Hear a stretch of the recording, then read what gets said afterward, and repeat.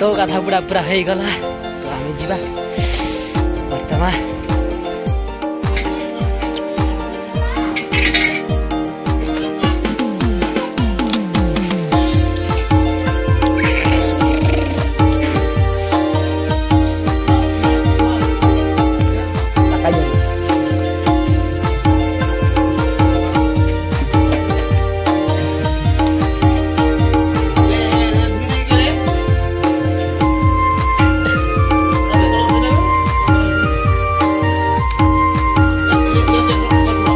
Delta.